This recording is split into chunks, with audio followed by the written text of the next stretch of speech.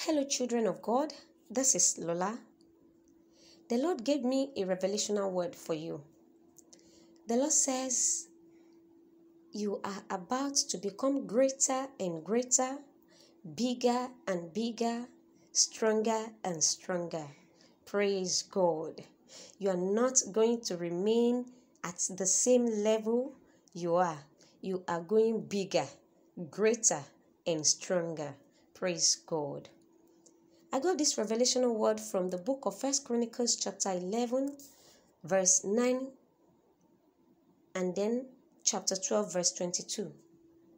The Bible says and David became greater and greater for the Lord of hosts was with him. The Lord is with you today and for this you are growing greater and greater.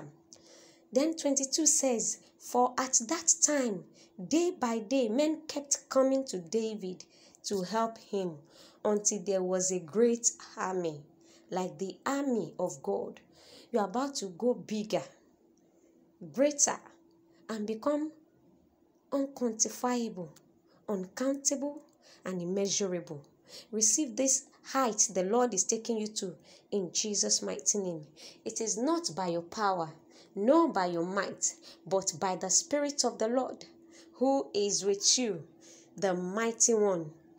Praise God. Receive it in Jesus' mighty name.